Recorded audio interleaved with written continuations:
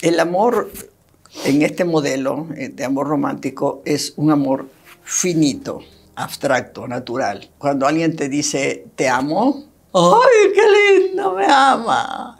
No tenemos la buena idea de lo que nos quiere decir, porque cada quien ama de una manera distinta, pero como el amor en este modelo es una idea, no es una conducta, sino que es una idea, entonces si nos aman, nos encanta que nos amen. Yo te amo, tú interpretas lo que